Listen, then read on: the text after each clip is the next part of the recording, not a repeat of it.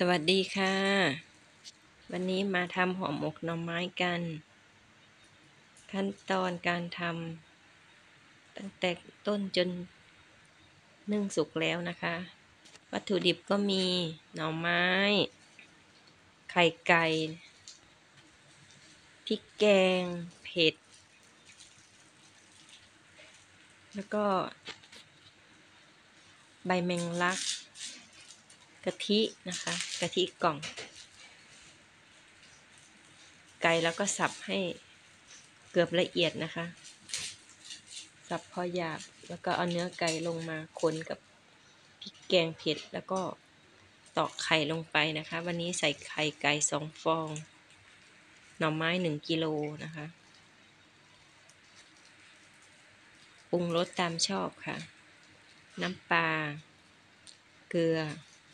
งนัว แล้วแต่ชอบนะคะ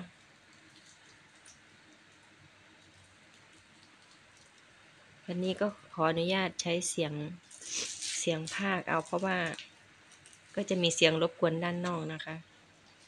ก็เลยต้องมาเป็นเสียงภาคเอานะคะยายก็มีใบตองเตรียมไว้แล้วกับไม้จิ้มฟันนะคะ ไว้กลัด ดูขั้นตอนการทำของยายเลยค่ะ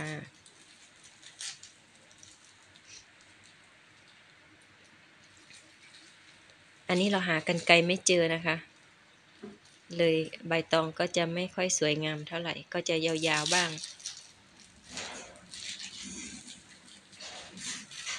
ได้แล้วค่ะหนึ่งหมกเนี่ยก่อนหน้านั้นยายทำไว้แล้วนะคะ แปดเก้าหมกละใบตองก็ไม่ได้ตากแดดนะคะ ตัดมาสดๆเลย ใบตองยัง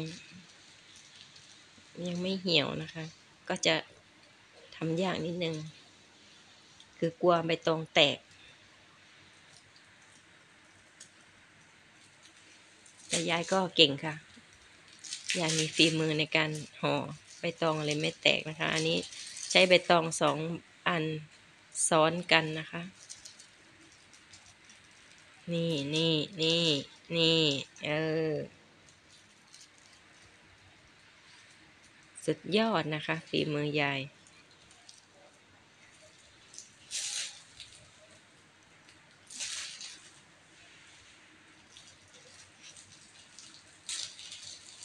ยายก็จะหมุนซ้ายหมุนขวานะคะ เพราะว่า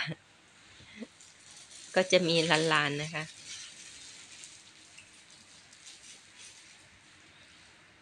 เพื่อความถนัด จะอ่าฝั่งซ้ายฝั่งขวายายก็ทำได้หมดนะคะ นี่ เป็นง่ายเป็นง่าย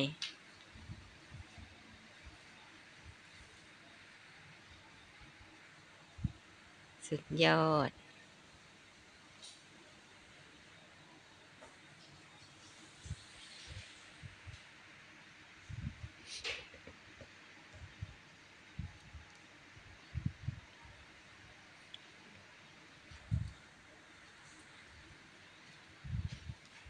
ฝากกด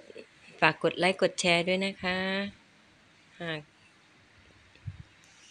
ชอบชอบคลิปนี้นะคะ ก็อย่าลืมกดไลค์กดแชร์นะคะ เป็นกำลังใจให้ด้วยนะคะ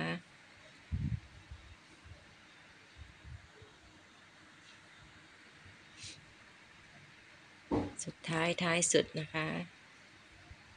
ห่อหมกห่อนี้น่าจะใหญ่กว่าเพื่อนนะคะ เพราะว่า สุดท้ายแล้วนะคะ ใบตองหมดพอดี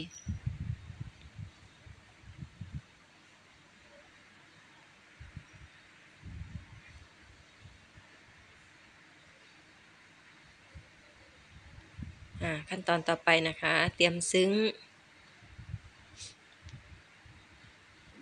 ซึ้ง ซึ้ง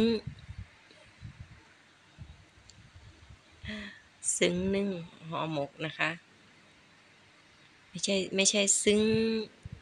ใจนะคะ ซึ้งซึ้งใส่ห่อหมกไปนึ่งนะคะ หรือลังถึงนี่เองนะคะ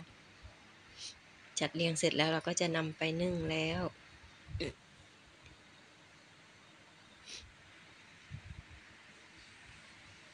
เรียบร้อยค่ะอะขั้นตอนต่อไปนะคะ